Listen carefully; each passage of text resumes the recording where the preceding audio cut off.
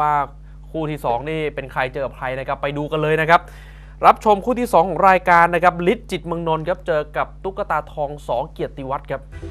ครับคู่นี้ 108 ปอนด์เท่ากัน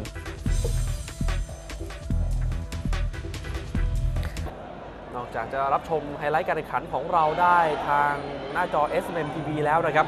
อีกหนึ่งช่องทางทางแฟนเพจครับ แฟนเพจมวยไทยรายวัน SMM TV หรือแฟนเพจ SMM TV นะครับหลายช่องทางเลยนะครับ ในการรับชมรายการของเราไม่ว่าจะเป็นรายการของคู่มันมวยไทย แล้วก็รายการในช่วงบ่ายอย่างมวยไทยรายวันก็ดูได้ มาดูยก 3 ครับลิทนี่มวยฝีมือครับตุ๊กตาทองก็มวยหมัดเตะขาหนักลุ้นนับลุ้นน็อกนี่ครับมาแล้วครับ ลูกเตะขาถือว่า เป็นอาวุธเด็ดของตุ๊กตาทองเลยครับ แต่ว่าหายไปนานครับตั้งแต่แพ้น็อกให้กับสถานเล็กในศึกมวยมันวันศุกร์นี่ก็หยุดไป 8 เดือนเห็นจะได้ครับก็ไปรักษาเนื้อรักษาตัวครับเพราะว่าแหมาโดนสถานเล็กนี่เจ็บตัวเหลือเกินรูปร่างเตี้ยสั้นนะครับ ต้องเปิดเกมตลอดครับถ้าช้านี่อาจจะโดนซ้ายหน้าของลิศจิตเมืองนนท์เอาฮุกซ้ายไล่จนไม่จนครับเตะขาแต่ถ้ามีอาการเมื่อไหร่นี่แกมาเป็นชุดแน่นอนครับตุ๊กตาทองนั้นฉลามได้กลิ่นคาวเลือดนะครับ ตัวเล็กจริงๆครับว่าหัวใจนี่เกินร้อย เอาเสียบซ้าย แทงขวาแล้วก็เจาะล่างครับแต่ว่ายังโดนไม่ค่อยเต็ม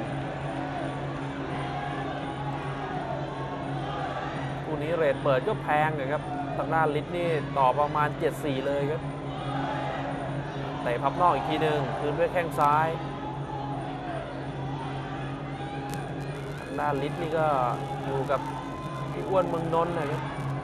ส่วนตุ๊กตาทองไฟนี้มาเก็บตัวอยู่ที่เพชรยินดีเลยนะครับ มีพี่โยชิสอเกียรติวัฒน์เป็นหัวหน้าคณะ โดนไม่โดนครับยังไม่โดนตีต้นขาไปทีนึงครับตุ๊กตาทองเอาละครับ เริ่มจะตีหน้าขาได้ ตั้งขวางไว้ก่อนเห็นรูปร่างของตุ๊กตาทองแล้วก็เหนื่อยแทนนะครับ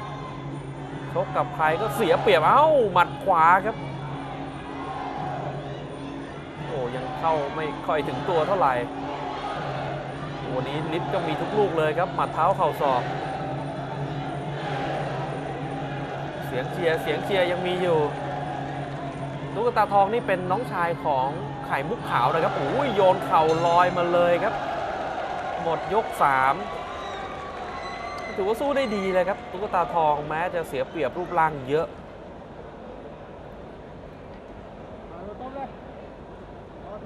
นี่ครับ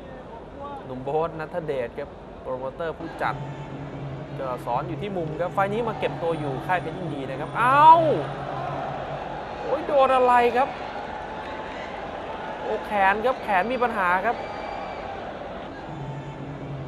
ดูครับ โอ้ยแขน โอ้โหโดโอ้แขนครับ แขนขวาครับโอ้แขนน่าจะหักเลยอะครับ โอ้แพ้น็อกไปเลยครับ เป็นลิจิตมงนนท์นะครับ เป็นฝ่ายชนะน็อกตุ๊กตาทองสอเกียรติวัฒน์ไปยกที่ 4 ครับมากับจังหวะที่ไล่ต่อยเพลินๆของตุ๊กตาทองครับโดนแข้งซ้ายหน้าดีดมา